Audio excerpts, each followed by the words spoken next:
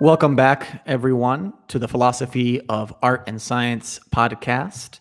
As always, if you support these videos, you can join the YouTube directly at just $1 a month, or you can go to patreon.com slash tewahido. That's P-A-T-R-E-O-N dot com slash T-E-W-A-H-I-D-O.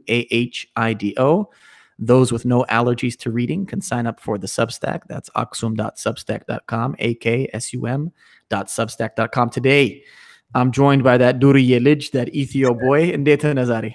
I live well. I live well. Good to be here. nice to have you. You know, um, there are many different topics that you and I could talk about, but I think a good place to start because we kind of grew up knowing each other, but we weren't, you know, the closest until one day. It's my first day of work, and I'm working for one of these education nonprofits. And they're like 300 plus people in this mess. And this dude is staring at me and turning. And I wasn't sure. I was like, is he Indian? Is it first? And then I got to look at his face. I said, oh, he's definitely Ethiopian. I was like, where I know him from. And we started talking and we're like, I think earlier that year we were at a at an Ethiopian party together. And that, yeah. that was crazy. So let's talk about that world, man. What what got you interested originally in serving in an education nonprofit? For sure. Um, are we are we not saying the organization? Yeah, you can say it. You can say it. Yeah, yeah. yeah you can say I, am doing it for you, bro. Okay. oh, no, fair, fair, fair, fair. Um, yeah, yeah. No, I, yeah. So I'll, I'll, use my discretion. So city year. Um, well, you know what got me in it. You may have known, especially when we when we met up at first. You know, I think we were really chopping it up about like policy and politics and all that. But like, I initially, when I graduated from undergrad, I, I, planned to get my PhD, and that was like I was on that mm-hmm. road, on that track. I did what I needed to do, and was ready to even just start applying. But being burnt out and really just realizing in academia they're not really doing shit for nobody outside of like publishing and generating knowledge. Like that's important. Like don't get me wrong, but like concrete real world effects nothing much like i remember i'd even taken a seminar on institutional failure which was dope and like one of the things we covered w- was schools right? And like the charter school, you know, that whole debate in the, the 2010s. And I was just like, man, like a great play it out a little bit for people who who aren't familiar because I could give at least a small big picture. I know my mom retired a couple years ago, was longtime LA Union teacher, yeah. and her school transformed from a public school normal to a public charter and then back again because the union she was affiliated with was very anti charter. But for a lot of people on the outside, it's not clear. Like we have the independent schools, the private schools, the religious and the non-religious variety, public schools of charter and non-charter variety. What what was your take at the time, you know, about charter schools? Oh, like my stance and yeah. did it change at all? I don't know if it changed over time. No, it did change. Um, I think it became more nuanced overall, but I think definitely in college, I saw charter schools as an issue. Like I was definitely more on the left, still am, but like not the same way as you know. Like I'm more of a pragmatist generally, but I, I was like, um, charters they're taking away from public education funds we could be using. You know, really referring to what's that that stat around um, like dollars per pupil, and it's like more money means like better education, right? And so a lot of inner cities, to use that language, uh, and their schools are being robbed of these important dollars that could be like making a difference. So that's where I stood like going into City Year. Where I ended up, and I think a lot of it, like engaging in discourse with you and some others, definitely, I think just around, um, yeah, we could say like the free market and things like that. I don't adhere to that, but I can be swayed on some level on some issues. And so I think for me, what I figured out was, especially when we were in the the space that we were in, in the setting we What's were in. Up? right? um, we were at, yeah, where we were at. I saw a lot of you know well-meaning teachers but a very rigid curriculum. Um, i think very rigid uh, rules overall. I think a one size fits all and i think where i ended up was just sort of like certain communities have certain needs and a blanket one size fits all may not fit that. In fact we may need something radically different. And so i really like the idea of what charters could do with regard to doing things just totally different and like being creative. So i became more open to them. Now i didn't see them as a fix but I felt like if you're in a community, you shouldn't have to just send your kids to some shitty public school down the road. Like, just to be politically incorrect about that. Like, you should have options, right? Which is why I'm, I'm for, on some level, even vouchers. Like, to take if your kid wants to go somewhere and you want that option, like, go ahead. And so I think I became much more flexible in some of that thinking. Just seeing not to be hyperbolic, but just how dire and desperate things were on the ground. It's like we need like options now. Systems aren't going to change altogether, but this could be a means towards that, like to do something innovative. That's right. I want to come back to the vouchers thing, but briefly while you're talking about this, to give people a very practical example, and I'm not just trying to hype my man's Ethio boy so much. This is just the facts of the situation to highlight what it is that he's saying um, one of the many requirements i remember whether it's from the nonprofit City Year like you said or whether you know that's being acted upon by the local legislation of the public school is the sort of written agreement that they had for example is that you would mentor and tutor in math and english 10 students who are not the absolute lowest but who are on the lower end especially of the testing spectrum mm. now that's like the theory and and uh, and a common theme I bring up in this podcast and elsewhere is where people bring their theoretical abstractions to practice and they will keep trying to make a circle fit into the square or vice versa however that analogy goes and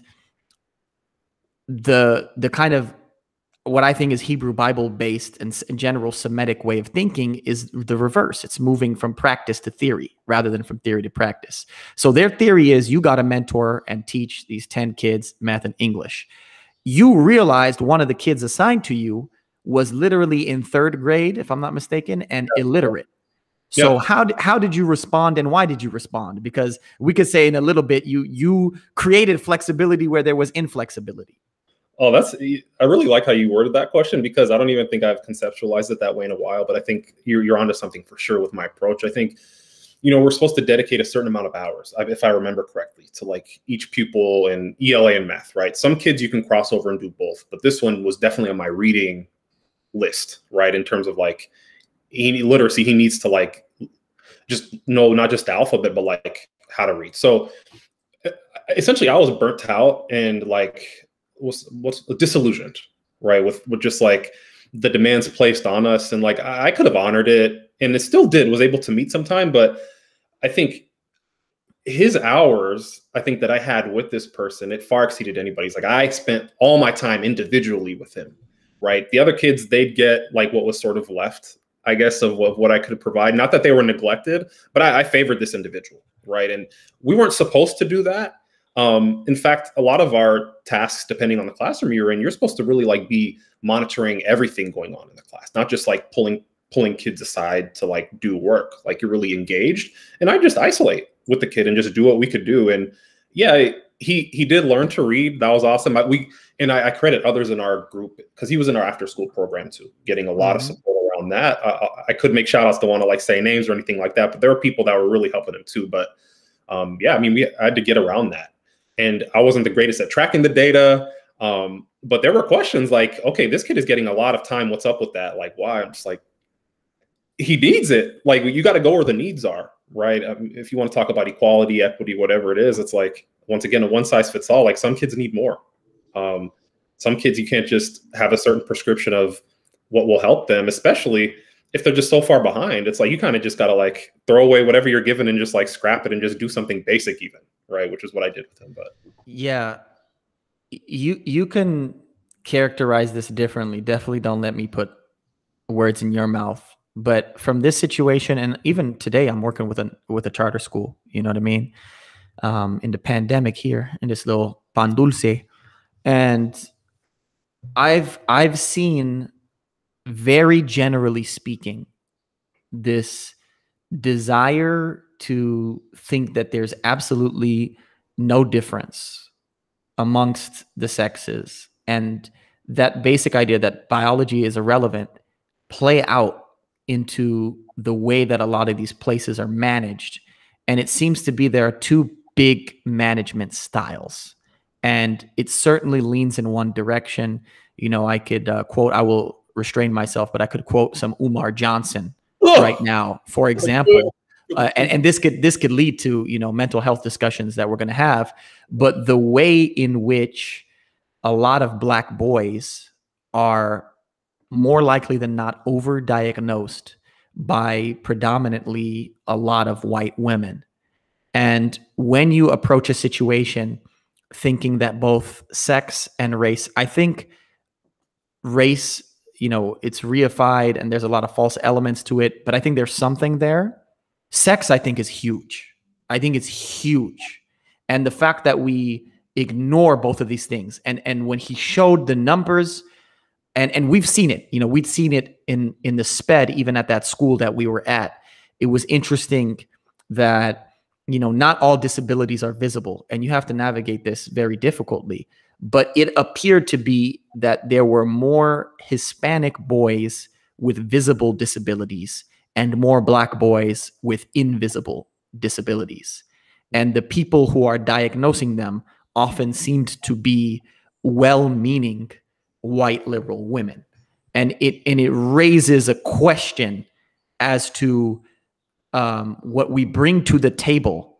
If if it's leading to these outcomes you know is it something inherent in these people or are there some questions we're, we're not asking and so i think it's like a tough love versus a nurturing element and it seemed to be a lot of people in charter schools and public schools in general the ethos is never give up on any child. I, I, saw this with our after school program. Got a little bit of the hubbub right with the team lead and the manager one time. And was funny, you were on my side in this equation. And and for me, ultimately, the well-oiled nature of the machine was more important to me than my individual opinion. And I even would rather not express my opinion and like submit to the hierarchy that was there than to play it out and have my voice like like I don't need my voice heard just to be heard. I know some people need that and there's probably some literature on that that was guiding that sort of behavior. But for example, the average after school program that I saw of like 23 schools we were in is 20 something. Our after school program hit the limit of 75 and then we allowed many different siblings in oh, into that program. And then you have a number of behavioral issues. And the question is if you were to make an example of let's throw a, a crazy number five to 10 people, and let's say you expel them from the program. Surely those individual people's lives will be less good, no question. But the question is, what about the lives of those other 75? And I think that's a tough decision to make that a lot of people don't want to make. So I wonder what you think about in education. And then we'll get to the mental health point of view like tough love versus uh-huh you know being more nurturing like the idea are you allowed to give up on anyone like the way i explained it to a friend who's an educator as well it's like you have a hundred dollars and you have a hundred people you can give a hundred dollars to 80 people if 20 people are not acting right or you can give one dollar each to a hundred people and i think many people in the environments we were in would say make sure each person has at least one dollar which is appears to me as someone who like has high standards and loves excellence and greatness like you make more people uh serviced but mediocrely mm-hmm. rather than distilling more energy into one person and and I'm sorry this was a long little rant but I brought this up from the idea that you applied that on the micro scale of you had 10 kids and you poured more into the one rather than spreading yourself thin over the over the 10 which you easily could have done and it would have been more by the book. Uh huh. So uh, it, it's it, it, was. I'm glad it was long winded, and you brought up a lot. I think of important points. So I don't know where I'll start, but because I, I think on the whole, because you started sort of talking about this distinction with so black boys having like invisible diagnoses, we could say, or intellectual disabilities, whatever it was, versus. Um, I mean, don't get now. I don't even want to get in trouble. Latinx, Chicano, Chicano, whatever. Hispanic, I'll be problematic and say that because that's like the worst, honestly. Hispanic boys we could say might have more obvious ones. Um, I hadn't thought of it that way, honestly, but what I will say, I think from my subjective experience was that um, at least at our at our school, a lot of the black boys were more behaviorally challenged, or like they they struggled in that way more overtly. That's right. Meant, yeah. Well, that doesn't mean they don't have a learning disability of some sort. Mm. I mm-hmm. actually believe they do on yeah. on some level. I, I think it's the yeah the way the presentation mm-hmm. of it that's even to use mental health language is very different. Maybe that's culturally so. I assume it is on some level. Um, and and I think the yeah, the way we saw it and what we had to handle was like the behavioral outbursts, right? Or to be politically incorrect, it's what's just a bad kid in terms of not knowing how to behave and what's someone who's like I don't want to use the R word or anything like that, but like with an intellectual disability, Yeah. right? I think we we tend to get in that binary, right? Which I don't think is as helpful personally, at least reflecting now, Mhm. right? Because I think they all have something they're struggling with Yeah. intellectually for sure, and definitely social, socio, social, emotionally, right? To the to the question, what, you, what you're really asking though is like, do we toss out some to save the rest? Or I think if I remember my Mhm. language as a 22 year old or 23 year old, it's do we let some bad apples spoil the rest? Right. That was like that was the language I used at least, and I think where I stand on that now. Um, I think, given how stretched we were, and I might add how ill-equipped we were, we weren't well we, we just. Like we might have been book smart and had some life experience maybe had worked with kids on some level. I think for the majority of us that was new. And so i think with that said given that we were we were busting like we couldn't take any more there were some kids that should have been thrown out. Honestly because to me it was important enrichment and in some ways it was a privilege to like participate in after school right? Yeah. um in that if i remember even correctly in the nitty gritty and I, I still hold true to this on some level we didn't have consistent expectations. I think that was like a big thing as well. Or we would bend for some kids and i think where i felt i felt some kids were getting off easy. Um, i felt like honestly like there was some guilt around it whether it's white guilt class guilt whatever it was. And i think i had made comments like this behavior this wouldn't pass in other communities. Like why are we allowing that? I've Yeah. changed since then. Admittedly i know the role of trauma is a big thing. Um, in terms of how kids get socialized i think i want to talk to you in this i guess session or podcast whatever you want to call it Yeah. about um, about i think the implications of corporal punishment and what that yeah.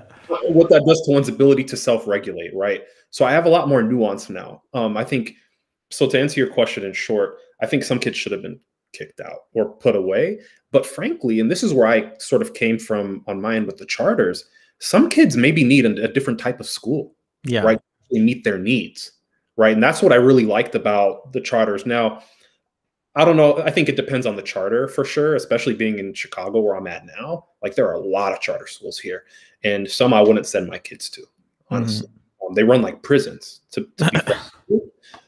Uh, honestly and so i think some kids would benefit from a lot of structure and it, it really it's based on what the individual kid needs so yeah in short some kids i think should have been given the the boot um and it should have been more manageable at least because it does take away from other kids enrichment like on Yeah. level. If if those things, by the way, didn't seem linked, the first part of what you were responding to, um, the the kind of disability portion is like when it's behavioral. I think we really got to get down to what can we back with real scientific studies and the question I had that I think I have some educated hypotheses for was that the lack of tough love, the lack of discipline is leading to that behavior.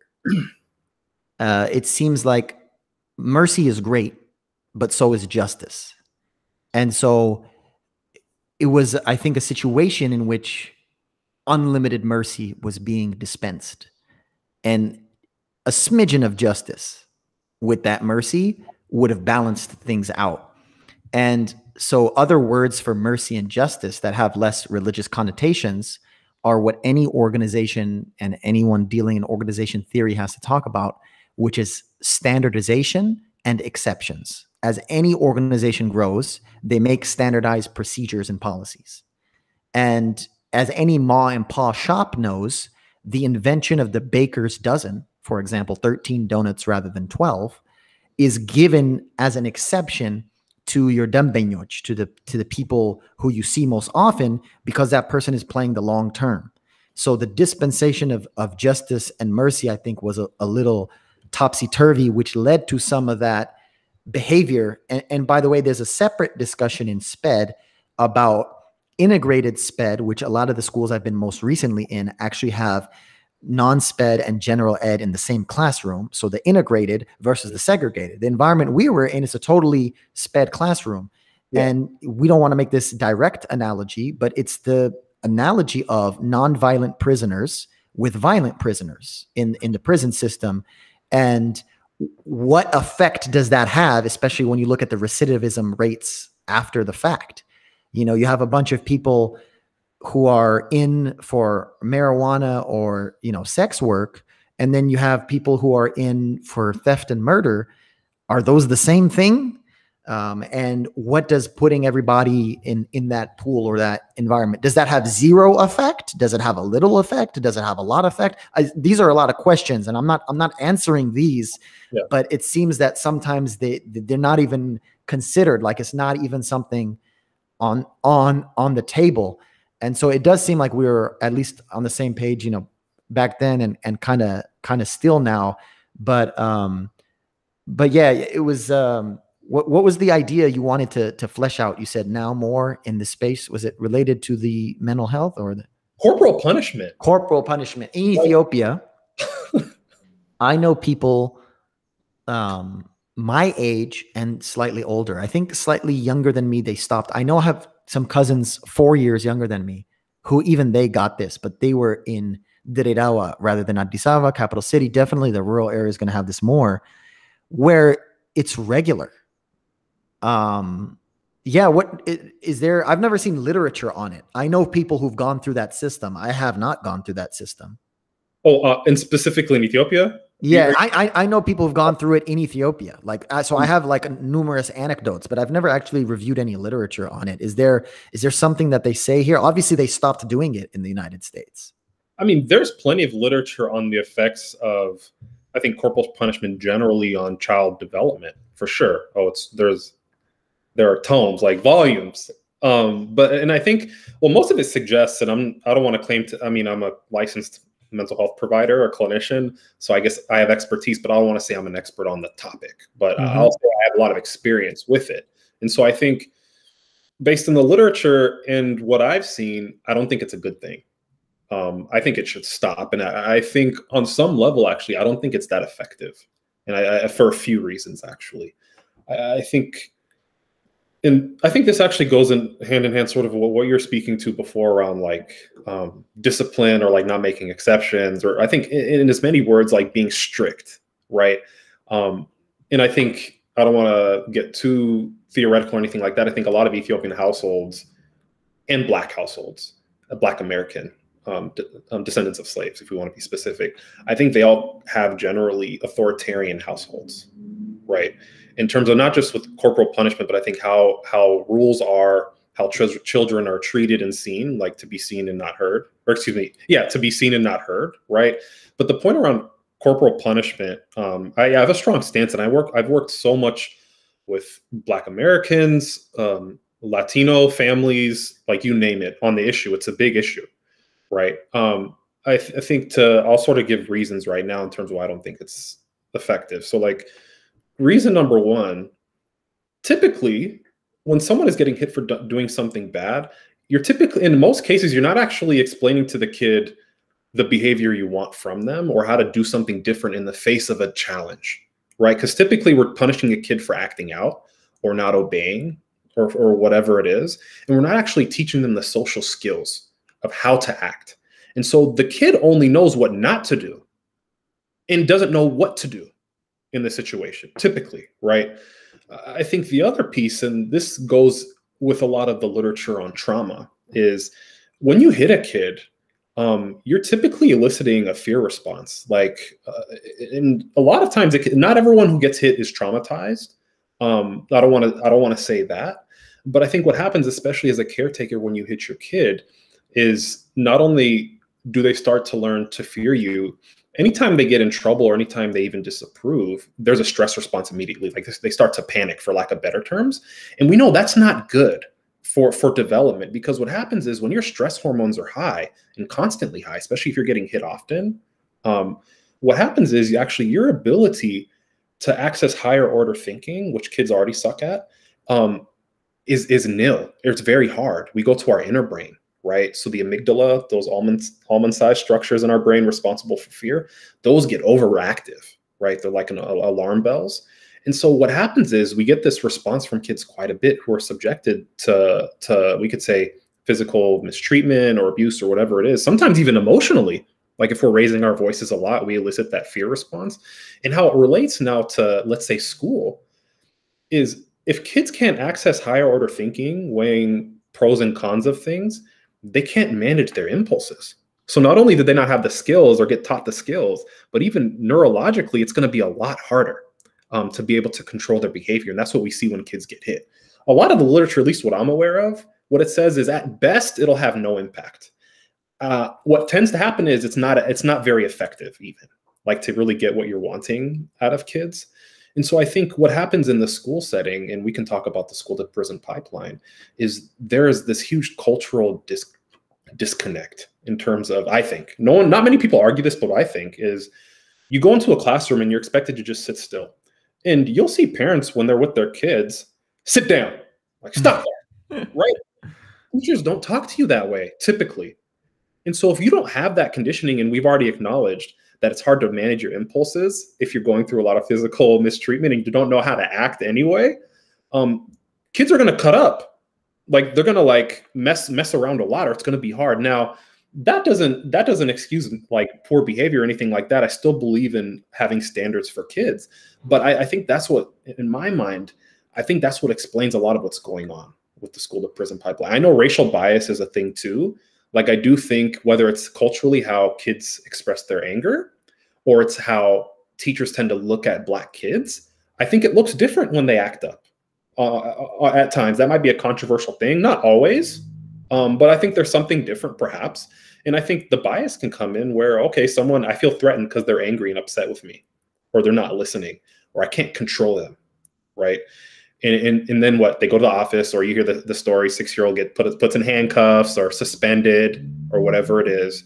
So i think that's like my short spiel. And so what i really try to emphasize with parents and i think i guess this is a good platform platform to emphasize is that doesn't mean don't have standards for your kids. But i think what we need to get in the habit of doing is really explaining to them what what they're doing like what it's what's wrong with it how to do it differently. And especially to repair after we've given a punishment. I think it's fine to give a punishment, right? And to reward good behavior too. Like you've, I'm sure you've heard like positive rewards or reinforcement, right? I yeah, think they used to like a five to one ratio. Oh, I'm sorry. They used to say they they used to advocate for like a five to one ratio. If you have any criticism, throw in the five affirmations, and somehow sometimes it looks like people are going through the the motions of it. Yeah, and so I think in like of course i acknowledge that teachers are strapped right? Like um, it's it's hard to like in terms of why they run classrooms the way they do like they need to get compliance and obedience. Like the way it is like uh, montessori you know more more about montessori than me. I think it's a little different or a lot different but yeah, in, they don't make you sit in a chair. You can right. stand you can move around you can sit wherever you want. I was i was going to say that. I'll, I'll let you keep going because i grew up in a montessori system and i like the montessori a lot. I've also been listening to and hearing many approaches of what's called the self-directed. There's a, a, a spectrum. On one end, you have the traditional public school method, and on the far end of the other spectrum, you have self-directed, totally unstructured. And there are a lot of these models in small group homeschool and one-on-one homeschool. Montessori is towards the self-directed end. However, the teacher is there, a guide, a director, or directress prepares an environment in which um, they have limited choices. So they don't have unlimited choices, mm. but they have more than one choice. Like I used to get mad having to enforce having someone to sit in a chair. it's very inane, you know, and it, it seems like you're trying to break them. And it is it's very well documented that this is the factory system adopted from Prussia by the early 20th century reformers in the United States who were explicitly against Dr. Maria Montessori. You have Dewey, from which the Dewey Decimal System comes in all the school libraries. You have, um, oh my God, I'm forgetting all their names. Uh, Will James. Um, oh my God, Horace Mann. Um, a lot of these these 20th century reformers. so it's it's their kind of worldview that we're still stuck with. Um, but yeah, I'm I'm I'm with you. I I don't know anyone who's like super well behaved and who tells tells me, you know, they were never hit growing up. So just super anecdotally, I don't know anything about it. That's why I said it that way. Everyone like in the culture that I've seen growing up. And it's like something you laugh about, you chuckle about. And even in some of the schools, you know, some of the administrators get told by the parents, you know, I'm gonna let you hit my kid, you know, just look the other way. And there's a lot of like unwritten rules when you And see not to not to cut you off. It happens In- here. yeah, in America. In Ethiopia, it's not unwritten, it's written. in Ethiopia, in Ethiopia, the parents will not only give permission for the teachers and the administrators, but for the neighbors. Like there's no escaping it. It's it's a totality. And I know people who grew up in that environment. And you know, so you're saying the literature could say probably has no impact, and it was something else that probably um, sent them that way. I don't know. I've not I've not done any study like that. So I from my experience, I I, I don't know anyone like, like that. Like I said, who's super well behaved and was never spanked or anything. So, but for me, like you said, I firmly what I know and I firmly believe in and have seen experientially is what you were saying about consistency and what you were saying about consequences. Like whatever the consequences are, if you articulate consequences, you have to follow through. Otherwise, they will not respect you. That that I know for sure. And then what do those consequences look like? And you know, are you adapting them? And then, like you said, are you articulating in a proper manner the type of behavior that you wish to see? That is a great question. And especially if there's a language barrier, if we're talking about bilingual and trilingual communities, that becomes a little bit more difficult. Yeah, and the the school setting is it's an interesting one for many reasons. And I think what I was trying to get to earlier that I didn't spend much time on is just the the demands on the teachers. Like they really in the the modern system, and we can be specific in poor schools. Um, the standards are high in terms of like making sure like a lot might be failing and they need to secure funding, right? And like they need test scores, and so you need kids to like focus uh, hunker down and like get through the curriculum. And uh, so I acknowledge that if there are behavioral issues, you have to run your class like a dictatorship, like honestly. And so I validate Benevolent dictator. honestly. And so like uh, I validate that, and I think especially in the school system, I think it's getting better on some level, at least with like giving mental health supports or like uh, training teachers with social emotional learning. Now that looks different different places but I think just like highlighting some of that stuff, and I think one big thing is I think teachers are being more trauma informed, meaning we assume that kids in our classrooms have been exposed to some sort of trauma, right? Because uh, many have, and I think it's worth plugging. I think it's Nadine Burke Harris's ACEs study, Adverse Childhood Events Study, which is like it's it's big, it's very longitudinal. Like it was years and years that they tracked, and long story short, it asked like ten or so questions around um, have you ever, well, did you grow up in a household um, where there's physical abuse or where you experienced sexual abuse, emotional abuse, or if a parent was somehow incapacitated, um, may have used substances, may have had mental illness, was a parent incarcerated, so on. What we know is if you answer three or four plus, you can predict almost. I think I don't want I want to be I don't want to be loose with my language, but there's a high high correlation with adverse outcomes health outcomes specifically, which is what they were tracking around like hypertension, diabetes, but especially around even substance use. I'm sure um, incarceration is a part of that, right? So to be trauma informed, I think is assuming that kids come in with some of this stuff. Now that doesn't mean well, once again you lower the standards, but I think you really are mindful of how are you approaching them? Are you in their face trying to get their compliance? Are you raising your voice out of nowhere, generating a startle response? Honestly, and so it doesn't i think when people hear it they're like oh that's pussy stuff or don't baby these kids. Oh this is a soft generation. It might be in some ways. I won't have that discussion but i think there's a smarter way to do it and i think that's what i try to coach a lot of parents through. Now i think i work with a higher ses clientele now than i used to but for the majority of my career it was having these conversations around i get why you do it why you might raise your voice or why you might hit your kids. People take pride in it it's a cultural thing and how's it working? Especially if you're in my therapy office it's not. And so we got like seriously. Yeah that, that's um that's good. That's a good transition. So we kind of uh, talked about that right in your credentialing and your transition from education to therapy. What made you want to focus on this aspect? Is there any connection between there or was it just like the education a time for you to self reflect on what it was that you wanted to spend you know the rest of your life on. It, w- it was for sure associated with my time at city year and doing some other i think more direct action sort of service um, in the community. Um, i think a part of it is parks right? Yeah no for real and i can speak a little bit to that for sure as contributing to why i chose to do what i'm doing. Um, i think some of it's my own upbringing. I think Ethiopians, uh, uh, we, this could be a topic in its own. I think there's a lot of unresolved trauma in a lot of families just by virtue of force them we call it pushback here, and all that, everything the that commun- communist revolution. In right, and so the Red Terror, like. Mm-hmm. Like that, that's the thing, right? On top of whatever was going on in somebody's household. So to answer your question, I think I'd seen the outcomes of some of those. Um, but to to take it to the education and community setting, when I was at City I was making DCFS calls. Like, and that it was the kids. What the is that acronym? Um, I should know this off the top of my head. Department of Child and Family Services. Okay, yeah. CPS, or uh, maybe California. C- no, I think it's DCFS in California still, but we know it as CPS, Child Protective Services, right? Mm-hmm. So we are mandated reporters. Um, anytime we see or know about any sort of even suspect an inkling of abuse, we yeah. must.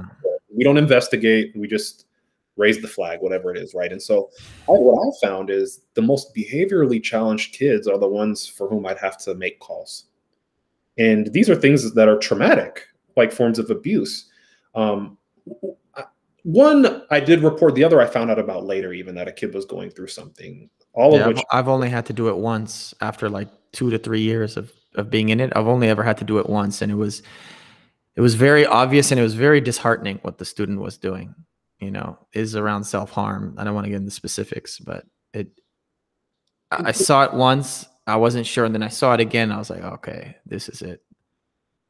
And, and so I think a lot of that for me, I don't know if you want to call it jarring, but was just like, no wonder they can't sit still no wonder some of their language is sexualized. No wonder they're confrontational with other students, right?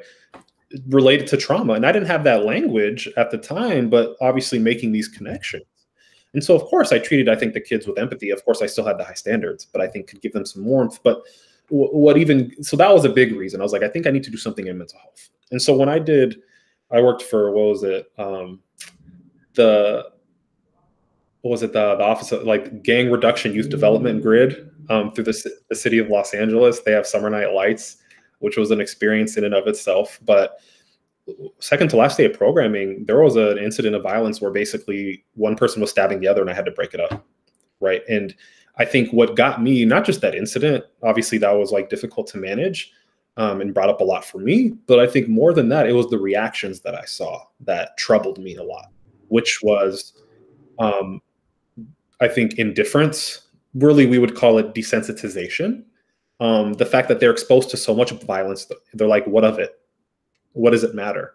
And so for me, that was just a huge disconnect. And I think my 23 year old self was like, what the hell is wrong with these people? Like, why don't you see the problem? Like, how could you just, and I think I had issues with the fact that no one was stepping in, which we know with trauma, we have fight, flight, and freeze responses. Some people freeze up and don't do anything. Some people will run away, right? I think some people were still guilty of not jumping in if I'm being honest. But beyond that, honestly, guilty like, bystander. we had gang intervention workers, and oh, what shit. situations was about them. So, and now I don't want to say too much. Now I'm already talking yeah. too much, but so that's that's what that was, right? So I think with that, I really like harped on that, really thought about that, and I was just like, there's something to it in terms of like, and I, I think one thing we were exposed to in City Year, um, the guy's name is he's an educator, like a radical educator in Oakland, Jeff Andrade Duncan, I think is his name. And I think he had some documentary or some program like Roses Through the Concrete or something like that. And so they piloted, they he basically said like a lot of these kids have some form of PTSD.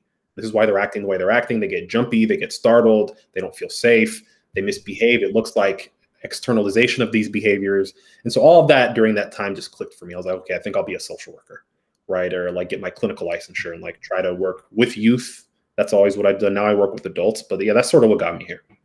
That's dope. That's dope. And once you got into that did they filter you into adults because you had to? Did you have the option? What goes into the decision making of like the subcategories or the do you call it the emphasis?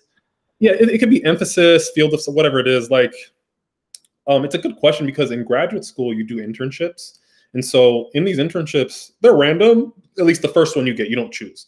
And the second one, like you apply for various ones, so you can be specialized in an area. Not that doesn't mean you're going to get the internship you want, but it'll be the field. And so coming in, you know, I was actually upset that I got put in a school again. I was like, I need something different. Like I've always been in schools.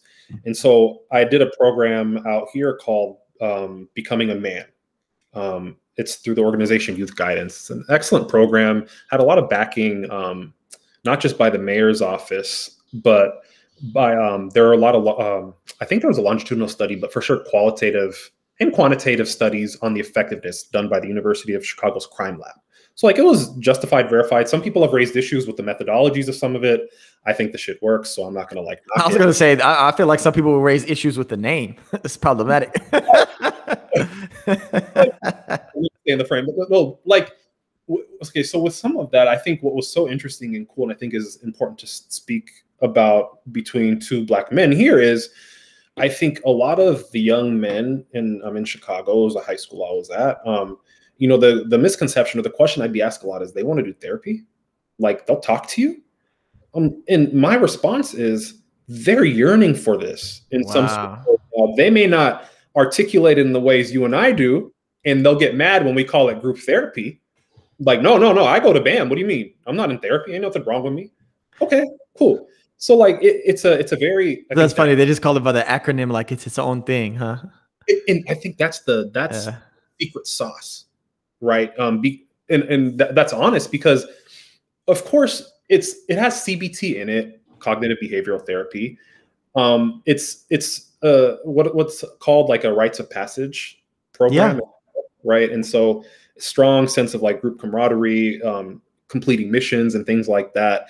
And so I, I, think the secret sauce is it gives kids a sense of belonging that there's something they're part of something bigger than themselves. And, and, and it's boys only, right? It's prohibited. Now I know there have been debates. That, yeah. Um, if there are trans identifying kids or non-binary kids, if they can join, I frankly don't know how they're handling that. Um, I know there is a counterpart, WOW, working on womanhood. Yeah which is a great program in and of itself. Um, and it is, is, a little bit different than BAM, but um, I think there are less, just as a super educated guess, but how I've seen it play out in sports, there are less issues of female to male than male to female in general. It seems to be. Or are you saying it's more of an issue with with uh? Wait, say that again. Yeah, I don't. I don't know if I. So I've seen it play out in sports and especially in combat sports, which I'm most interested in, jiu-jitsu, Muay Thai, boxing, etc. I have never seen anyone complain about any trans person who goes female to male entering any of those sports. Any and all complaints have been in the opposite direction of those who transition from male to female. I have never seen a complaint the other direction. Um, no. So I, I I don't know if that's the case, but I think an educated guess would be less likely to get a lot of pushback. I mean, m- maybe you have a bunch of, you know, whatever uh, kind of cultural taboos around it, but I I would doubt it. I would bet if you asked me to bet, if I had to bet, I would bet in one direction. You know, it's a it's an interesting hypothetical, I guess. And now I'm just like, damn, okay, it's getting hot now with the this could be problematic, but it's hard to say one way. I, th- I, think personally, you could make a case either way. I think uh, among males, there can be homophobia, transphobia, whatever it is, and it may be tough. But then I feel like my hunch actually is, especially, I'll be frank, these these groups are black and black and brown kids. And so I think, you know, looking at it from like a black feminist lens, I think they may be inviting of those who identify as as black women, right, or brown women. So I think I my hunch would be like they may be more open to that than the boys, or it could be problematic on both ends. Um, I can't say for certain, but I know it's it's been raised. To be honest, I think sadly I don't know if there is as much integration or if these youth feel as empowered to even like come to these spaces. I think mm-hmm. it has been done. I just don't know for certain and what that has looked like. Yeah, so. I, I think about it a lot, you know, in terms of, you know, uh, I worked around DOMA when I was with Dennis Kucinich back in 2011 in repealing DOMA, the Defense of Marriage Act. And, you know, related to that is a lot of the stuff Bill Clinton had, the don't ask, don't tell stuff. Mm-hmm. And one of my really close boys, he served in one of the last non integrated parts of the military, which is submarines in the Navy. And they have specific reasons for why they don't do that is they have to stay submerged sometimes up to three months. Yeah. And so if any incidents occur, you can't go back to the surface. And talking about trauma, that's going to be multiplied tenfold, if not a thousandfold, if you then have to stay in a box under the sea for three months. Yeah. Um, so that's kind of an extreme example, but yeah, that's you know, I'm not trying to put you in the hot seat there. Uh, but the the greater kind of program that you're talking about, especially when you call it like a rite of passage, is is very interesting. I've been reading some topics related to that. There have been some new books coming out related to that. Therapy is it's interesting in the law.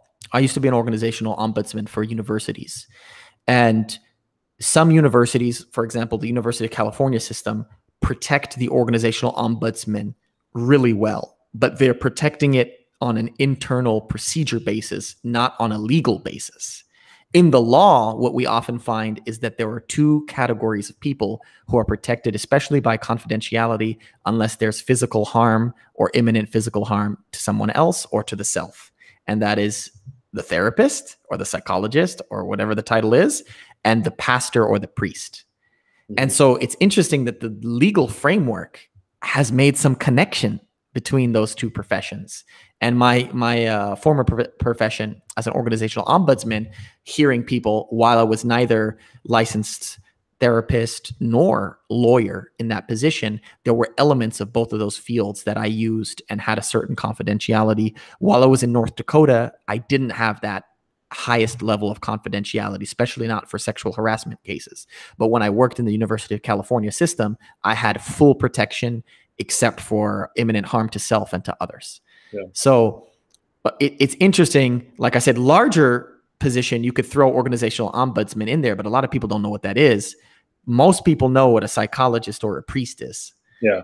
Um, and I remember talking to some of the people that I talked to, and sometimes you know, being the person I am, you could probably guess it. And this is, you know, another great segue. I see a, uh, like the way you said these boys are getting some sort of relief from BAM and from the rites of passage aspect of it. It seems as if the growingly secular society we're in, and I believe that secularization came from a kind of uh, ever devolving Protestantism, which is a discussion for another day. But I believe this, however, we got here, what it's missing out on are the mechanisms that were in Catholicism, Orthodox Christianity, the Syrian Church of the East, and even more ancient, perhaps pagan traditions all over the world. And that is the kind of, usually in that environment, fatherly figure who hears the confession of the person. Have you have you ever wondered about the kind of that religious connection between you know in the movies it's typically a catholic priest but that that role of kind of person who hears those things um, they don't have the training that you do but they have a different training. And and sometimes if they disconnect the spirit from the body i think they're off base. But do you see any connections there? And does religion or spirituality, if they don't want to be attached to any organized religion, play any any role in, in therapy, or is it mostly a secular um, session? And I know that may that may that may differ from therapist to therapist. It does. I think it's an excellent question, though. I think it's even just to backtrack. I mean, this is so obvious to you. I'm preaching to the choir, I guess. to the, to the deacon. You preach it to the deacon. It's another level. so um, when those when we experience our toughest times, or we feel helpless, or we've been through a trauma, or where we feel like we are not in control of our life in a way that feels like inherently scary to us, we lean on faith, on some or some spirituality. People tend to. Not everybody, of course, as you know, but it's it's something so important. And I think any therapist who denies that, I don't I don't know if they're they're worth their weight in gold, however you want to put that. but but honestly, because that doesn't mean we have to have a spirituality of our own, but this resonates with so many people, and I'll be honest with a lot of um, Black people for sure. Um, I think where we can go many places with this, honestly, because I mean, there are many therapists who adhere to, and I know you have opinions on this, maybe more um, secular spirituality, um, or like those who like adhere to like energy and um, what's the word I'm looking for? You know, like zodiacs and all that. Um, and so I think a lot of people are into that. I don't want to speak down to what I know I was using dismissive language, but more so, I think a lot of people resonate with this. If we want to talk about what's popular in the field, whether it's having crystals or whatever it is, this is spirituality. Um, I think even taking it back to my work at BAM, we do a check in every single day. And that check in, it's an acronym PIES, P I E S. P is physically, I is intellectually what we may be thinking about, E is emotions, what we're having, S is spiritually, where you're at. And what that means is to whom are we connected in some sort of way to a higher power, to someone close to us? And of course, we're not just talking about we're close, like there's something else there, right? And so uh, I think in terms of, I've used that check in with youth. I've in the past even said, I feel connected to God, like I do. Um, and kids are okay with that. And some people say they don't. I, I preface it in the past when I was working with youth. I don't do this as much now, but even if you want to say you're connected to your dog, right? That might sound like horrible to some people, but honestly, if you feel that connection, say that. So there's space for whatever you choose to feel spiritually or not to feel. But I think it's good to welcome it in the room because I think it's there typically, especially I'm I am a trauma therapist on some I am. I I hesitate because um I don't even know why I hesitate. I'm in a trauma program right now, so I'm a trauma therapist, and so I, I work with families as well. And spirituality is a big part of what gets people through tough times. Like absolutely. So I think to your example, even I encourage folks to even if they have faith, especially if what we know is isolation can kill us. And when we've been through a trauma, we tend to isolate quite a bit. Or if we're depressed, we isolate. So I say, like, get your ass to church or go somewhere I'm just like, go. Can you go to church? Can you go to the bar? Something like, but like I'm saying, like church, where you where you're connected to something like greater than yourself, or even if it's a political cause. Now, I think people, and I'm sure you have opinions on this, maybe looking to politics for some of that stuff, and I don't yeah. think they're gonna find what they're looking for, if I'm being honest about that. And so, but if if that's what people need to feel connected, and I always so I always say spirituality is important. We need to check where they're at with that. We say even like we need to do a biopsychosocial spiritual assessment of where people are at. Every like a 360, what's important to them? What are their supportive factors? Yeah, I, I don't know if it's totally apocryphal or if it was a real story. I had heard this story of Barack Obama at one time. You know, he had his early communist affiliations and at one point was wanting to check out a group of atheists. And when he went there, he found a bunch of people who were stuck in their theories but didn't want to play anything out in a political perspective. And what he found in the black church was a lot of people who were politically active. Obviously, some of those people, like Jeremiah Wright, you know, ended up being in some hot spots that maybe get him in trouble. But in general, it was a, a community that seemed to be on the same page in terms of organizing. And so the way you said it, like especially in the marketplace of of the United States, there are many different options to choose from and and what that looks like. I'm just uh, yeah, I'm, I'm just interested in in the idea. I, I wouldn't want you to speculate wildly, but I wonder if you converse with any colleagues if you're allowed to, and I, I would I would wonder, you know, how many do you think actually engage in like the world organized religions of you know be it Hinduism, Buddhism, Shintoism, Islam, Christianity, Judaism, Sikhism, and even Zoroastrianism for that fa- for that matter. Like I would genuinely wonder how many engage in that versus what you were saying, the the crystal zodiac, um, whatever it may be that that people are are looking for. I, I think human beings witchcraft. Um, yeah, witchcraft. I've been seeing things in the New Yorker and the New York Times about that in uh, in people in Brooklyn. Mm-hmm. So like I, th- uh, to, I guess to answer your question, I don't. My assumption, at least, is I don't think a lot of people adhere, or maybe like in in name, or might be a, a very common example is those who are Jewish, right? Like ethnically, of course, they identify as such and feel like a tie to that. Religiously, most people I bet not as much, but some people do. So I don't want to downplay that either. Um, I think the same for Christianity. I think I have to be honest with myself. I think I've been, and you as you know, different places with my own faith in terms of like belief and everything like that.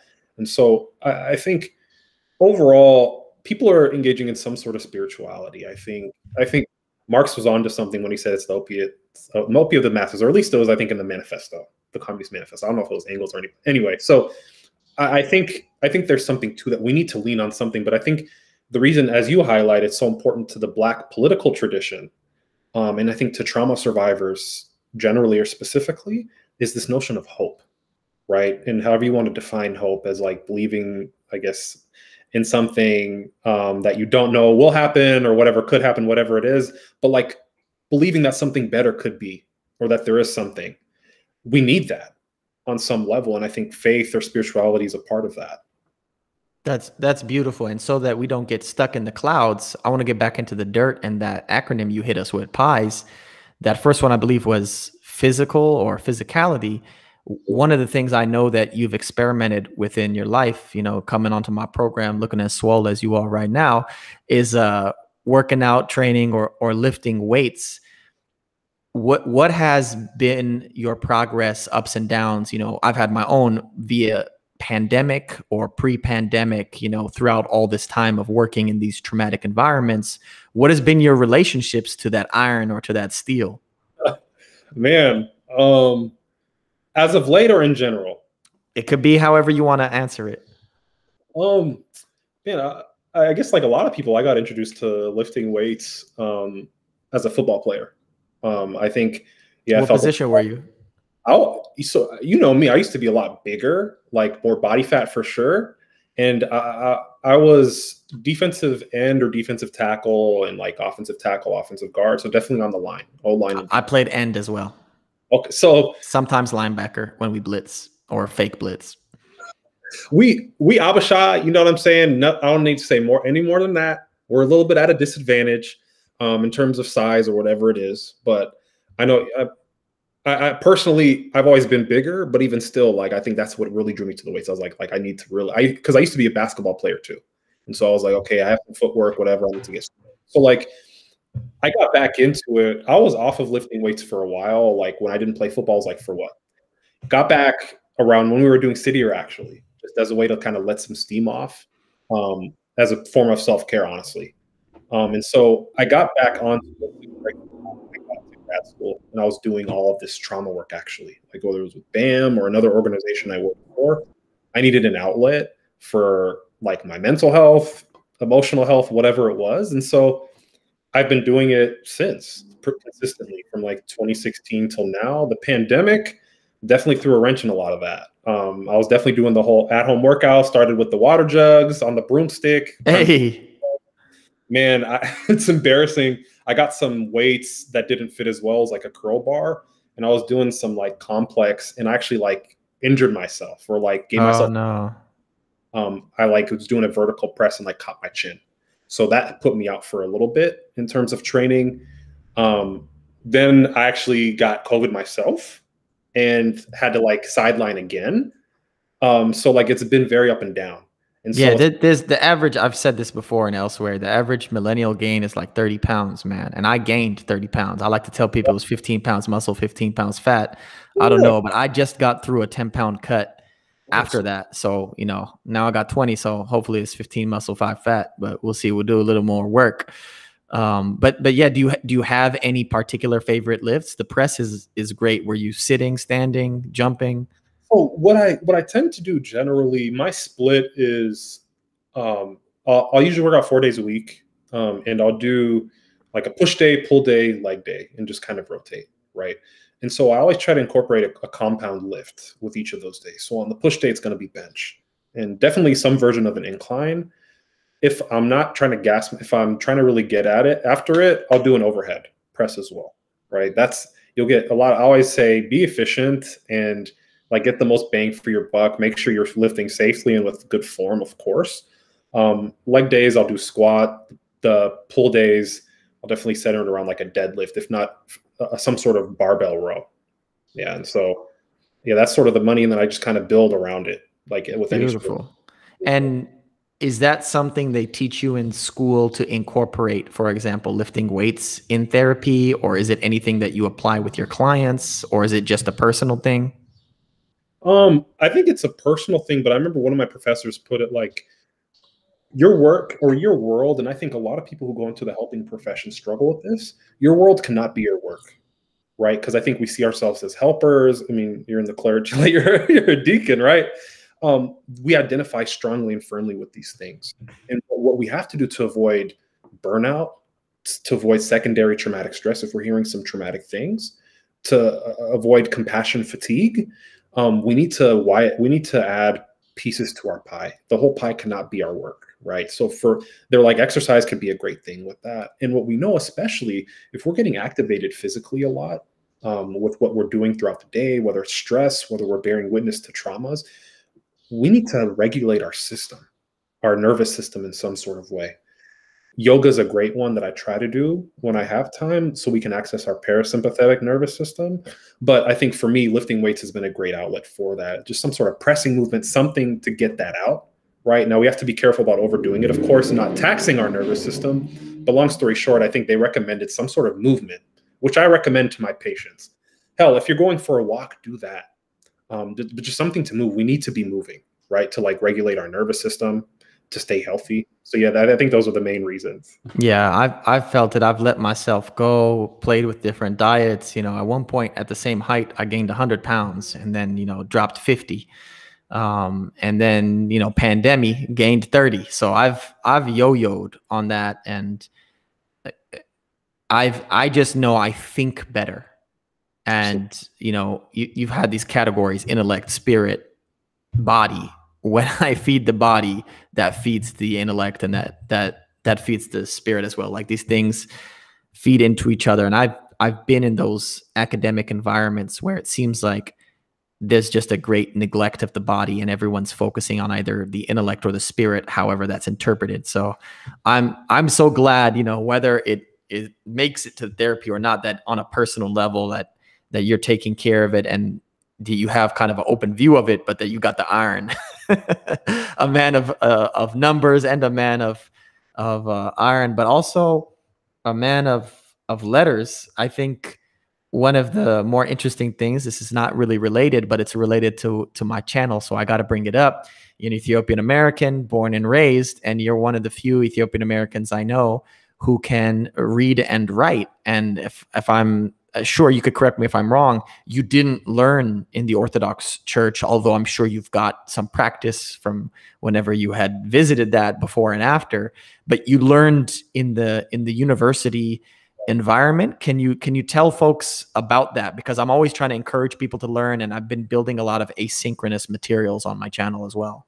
Most deaf. Oh man, the Fidel. Uh so uh, you know, like many diaspora parents they try to put their kids in a modern school. Like i did that like at nine and ten wasn't paying much attention. All i could remember was like ha and buh that's it. Anything. Now i might have got some muscle memory in in terms of like writing things but i didn't remember a damn thing. I'm not fluent in a modern i can understand it okay barely speak or put some things together. But beyond that so when i got to college i needed a foreign language and so I was like, shit, like, what am I going to do? Man, what did you do in Spanish? Uh, excuse me, what did you do in high school? You do Spanish or French or something? Well, I did Spanish, but uh, I failed uh, one one quarter. I didn't get the full three classes or the series. I only got to Spanish two because one semester I messed up. But yeah, long story. Played football. Got, it got it got nixed, but I never had what I needed to graduate college. Right, that's like an entry thing. Like when you get there, um, to be able to graduate. So you at the school that I went, you need that third whatever course or year of, of, a language. And so the two is like the minimum. And so I needed a language. And interestingly, the school I was at, um, I guess I'll just say University of Washington, um, they offered not just Amariña, but Tigrinya. That's how deep we are out there. Like, so, like, but like, yeah, we're, we're deep out there. And so like they, they were able to cater to it. So it was an awesome. My brother did it before me because I would have been intimidated. I'm like, how the hell am I going to learn that? So like, what I'll say to folks, whether it's on your channel or whatever it is, um, it's very, it's very, very doable. Like I learned the alphabet, I think in its what 300 something characters, but like only a certain amount of base characters per vowel or sound or whatever it is. But I learned it in like two weeks. Oh, like that's people, quick. That's quick. It took me a month and a half. So you, two weeks is quick. Maybe for me, it's because like I'm not great with auditory hearing things and retaining, but like I think writing things helps me a lot. So it's really I encourage people a lot of repetition. So yeah. I was writing with single letters like a million times, just like people are above that and they forget that when they were children, how many times in preschool, kindergarten, first grade, second grade, third grade did you have to do standards and trace the little letters? Like how many repetitions, like lifting weights, how many reps do you think you got of the Latin alphabet we use in English? But when yeah. it comes to the Ge'ez alphabet that we use in Amharic, nobody wants to put those reps in.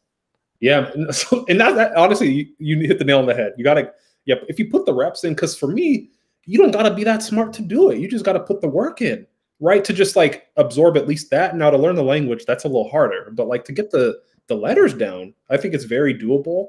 And I think the other piece, of course, is reading and fluency. That was hard and blending Amariña words. I guess I have the advantage, like others who grew up in Amharic speaking households, of like having some familiarity with mm-hmm. some of so that helps. But still, had to put that work in. And I do which man, I know you had me reading when we worked at City Year. like, no, you these standards. I was like, all right, all right, all right, all right. Or going to and like going to choir practice, right? And like trying to read on the screen. So like all of that, it's practice, man. Just reading it. Um, I even I do it like I follow some folks even on Instagram that might use Amharic Fidel like mm-hmm. and whatever they're typing. I'll just read on there. Like just get that get those reps in because for a while I was, then you're in my head, bro. Like, come on, you got to do it. You got to do it. So like I'm still when I can, I'm still doing it. Yeah, I'm glad I was in your head because you already did the hard thing. Like people getting over the alphabet, that's the hardest part for people initially. So for you, it's just maintaining. Like you're in maintenance mode, and while you're in maintenance mode, you slowly add vocabulary. Like I've been literate in Amharic now for 10 years. I've spoken it my entire life, but I was only literate 10 years ago. And in this 10 years, I've learned more Amharic than in my first 20 years. And that's because I don't have to practice on anyone else actually is one of these gang programs that they had at our school. I used to pop in in the library. This is one of these like scared straight programs where they they say, "Oh, we're gonna bring all the badass kids before, and then get some gangsters and get some people who've been out the uh, prison, did a bit or two to come talk to them." I, I popped my head in a couple times to listen to them, and one of the genius things I never forget that they told us is they were instilling to them the love of reading and they were telling them, you know, when you have like a really great conversation with someone else, and they were saying like the greatest distilled thoughts of a person, and so thus the most beautiful conversation, you have access to that. I think they attributed it to like Malcolm X. I, I've never heard it anywhere else, but in that library, I heard this, and I believe that in Amharic. Like I've always been a person who just used all my aunties, grandmas, everybody. I consider them free language teachers. So I would just practice on them all the time and uh, but get, getting access to the books. So my that that sharpened my verbal skills, but getting access to the books actually helped me correct my language. There was a lot of my language that needed correcting because you hear it and you don't know how it's written. Sometimes the the spoken word, I should say many times, if not more times than not, the, the spoken word is off from from the written word. So, you know, I also have the thing where my parents left during the time of the king. So there's a lot of language change during communism and federal democracy. So there's that element to it too. So reading the Bible to see the ancient Amharic or the archaic Amharic, but then also reading news or, and seeing people on Facebook, like you said, or on Instagram or, or Twitter. Twitter is probably the where I see it the most, but Facebook too. People have long posts in Amharic. I still practice and see how it's it's spoken and, and it's it's great. So I'm I'm I'm glad that you're still doing it right now. Actually, that was a subtle check in on you. and I'll be I'll be real with you. It's just maintenance. I'm not expanding, but it just yeah, making sure everything's still well oiled and working. Well, that that's a beautiful thing, man. We got to touch on schooling, got to touch on therapy, we got to touch on physicality and lifting weights, spirituality, and and language learning in any of these categories or or anything else, do you have any closing remarks or anything you want to plug for the good people at home, whether it be your resources or other resources? Oh man. Um I think generally, especially, I think it's important to sort of say during this time, maybe we're sort of seeing the light with the pandemic, but I think just really emphasizing the importance of checking in with yourself, even if you're doing that pies check in, but just really taking inventory of note of where you're at emotionally. I know a lot of people have been struggling during this time. Run um, through the acronym for us again. Physically in your body, just how you're feeling. Like, are you feeling tense? Your hands sweating? Like, what's going on? Feeling tight anywhere? Anything feel good? Just take an inventory. Intellectually, it's more so just what thoughts are you having right now? Like, what's running in your head? Just taking inventory of that and emotions and this can be hard for a lot of folks if we don't have access to our emotions regularly but just like checking in and saying like what am i feeling right now like especially if we feel like we're doom scrolling or zoning out or um, numbing with the internet which everybody's doing on some level take time to even just check in with that and spiritually who are you feeling connected to even if it's not a higher power or anything like that like are you connected to someone right now and really just to normalize like get the, get therapy man I, I do therapy as a clinician. It's important to do it. I encourage it. So I think that's what I would plug is just destigmatizing, I think, mental health, especially for Habeshas, African Americans generally. Um, like, get your ass in the therapy. If not, at least go to church. so, አሜን እግዚአብሔር I'm a በጣም እናመሰግናለን appreciate having me on here